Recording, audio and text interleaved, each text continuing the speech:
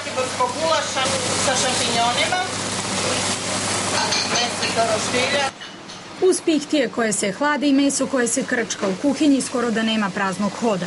A kakva nova godina, takav i meni.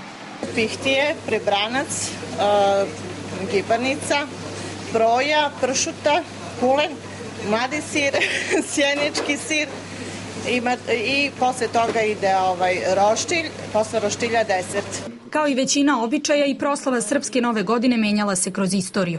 U vreme socijalističke Jugoslavije bila je i zabranjena.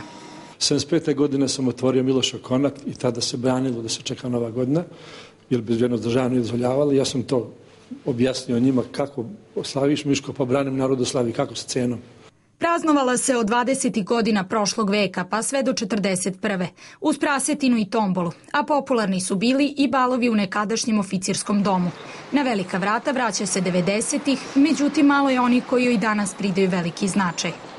ne proslavljam nešto da se skupljam sa ovaj, prijateljima, jednostavno sačekam ponoć, poželim sebi i svoje porodici sreću i sve najbolje. U krugu porodice, više u krugu, pa, pa to je prilika da se porodica skupi, onako nam je porodica razorena.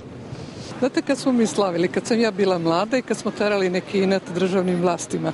A sada, ovaj, kad je sve to dozvoljeno i kada je pretvorena ta srpska nova godina praktično u 1. januara, odnosno 31. decembar, onda to nekako više nije ono što je bilo, znate. I nema komu da se tera inat.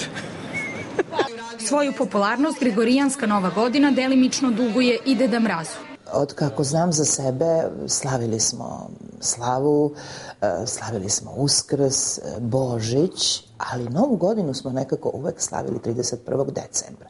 Ne znam zašto je to bilo tako. Da li zato što je e, ta proslava 13. zaista bila, kako da kažem, tajna stvar i nije bilo ili se slavila veoma ovaj, diskretno ili zato što smo mi kao deca jednostavno voleli taj 31. decembar i sve što uz njega ide, ide da mraz i pokloni. Etnolozi prave vezu između pravoslavne nove godine i Božića, a praznik se u narodu nazivao i Mali Božić.